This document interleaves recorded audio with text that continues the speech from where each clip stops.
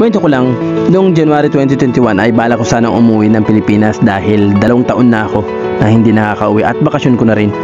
At then naisipan kong magpatayo na muna ng bahay dahil sa dumaan kasi na pandemic ay ang hirap ng sitwasyon natin kapag wala tayong sariling tahanan at matagal-tagal na rin ako sa abroad. Dati natatandaan ko talaga yung payo ng mga ibang tao na dapat mag, kung magpapatayo ka ng bahay kailangan may limang daan ka muna. Pero mali pala yun. Kailangan ang mindset natin kung gusto talaga natin mamagkabahay kahit ano man yung hawak mong pera kung sisimulan mo ito ay magagawa mo. Katulad ko, nagsimula lang ako sa maliit na pera o konting pera lang. Importante, nakinig ako sa magulang ko kung ano yung gagawin ko. So sinimulan ko nung February ang pagpapatayo ng bahay. Hindi muna ako umuwi kahit na mahirap.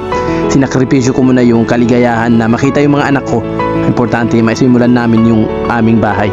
At eto, kahit hindi man ako nakauwi ng 2 to 3 years, kung ganito naman yung naging resulta ng aking pinapangarap na bahay, ay okay lang.